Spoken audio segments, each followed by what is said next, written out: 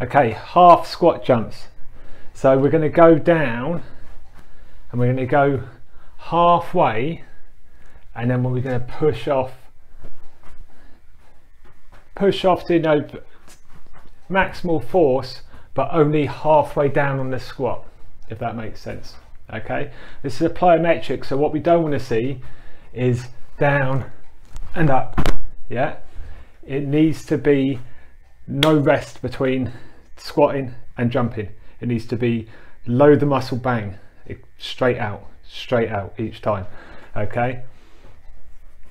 So it will look something like so I'll do it slow time you go down no you go down and then you far out okay straight away. So let's do it properly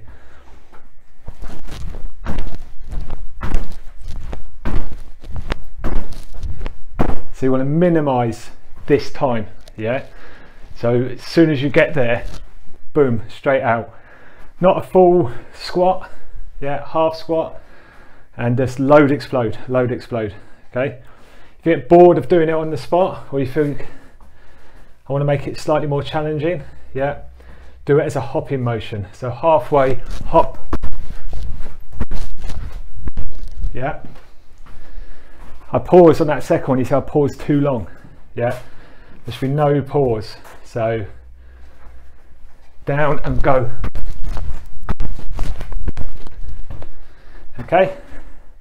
Load explode. Start stationary. Half squat go. 30 got the hang of it. Go forward. 30